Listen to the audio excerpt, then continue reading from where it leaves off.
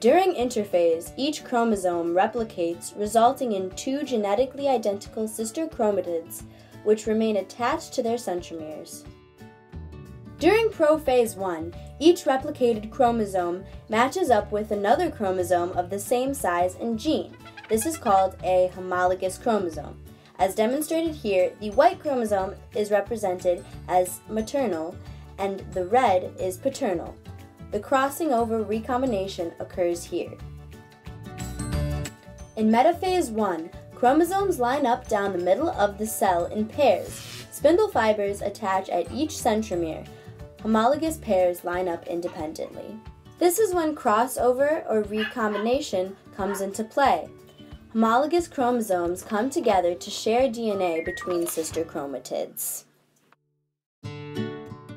In anaphase 1, spindle fibers pull chromosomes toward the poles, or either side of the cell. Sister chromatids stay attached and homologous chromosomes move to opposite poles. Contrary to mitosis, chromosomes are individual instead of in pairs. Telophase is the end of the first cell division. The two homologous chromosomes separate, splitting the cytoplasm and forming two new daughter cells. Each new cell has a haploid of the parent chromosomes. Cytokinesis. This phase occurs simultaneously with telophase 1.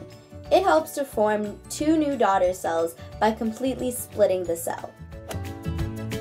In prophase 2, each daughter cell forms a spindle and the double-stranded chromosomes move toward the center.